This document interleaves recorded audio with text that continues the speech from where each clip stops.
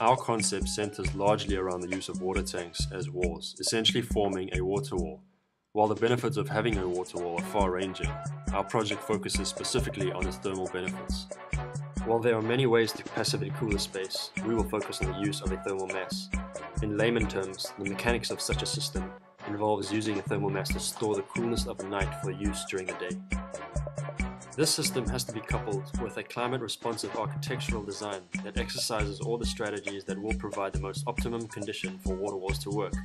This includes the proper orientation of the plan, such that the water walls are shaded from the sun path, thus ensuring cross ventilation across its surface.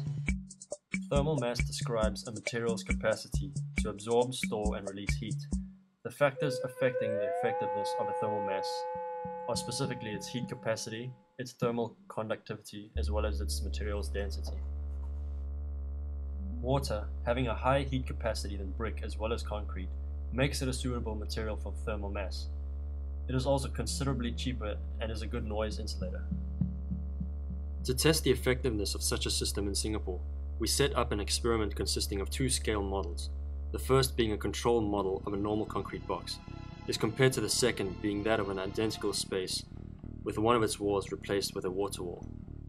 We can see that the water wall is able to cool down the space a lot quicker at night, while retaining some of that coolness during the day, resulting in a cooler indoor temperature.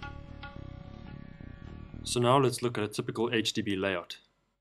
As we can see, most walls have direct exposure to the environment, but some can be internally shaded from the sun.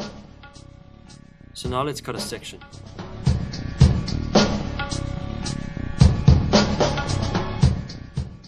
Lift core creates a negative pressure that allows cross ventilation to occur, further cooling down the shaded internal walls, hence making this the most suitable place for a water wall.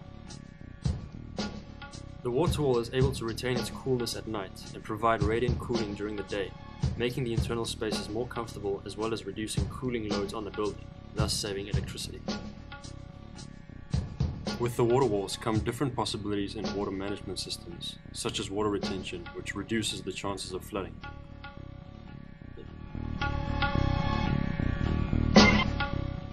So remember, with water walls come great possibilities.